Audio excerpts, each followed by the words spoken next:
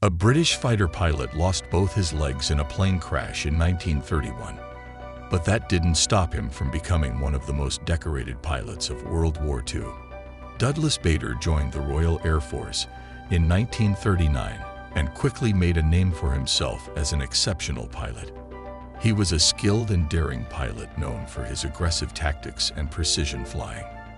Bader's most notable accomplishment was leading his squadron during the Battle of Britain, where he shot down 23 enemy planes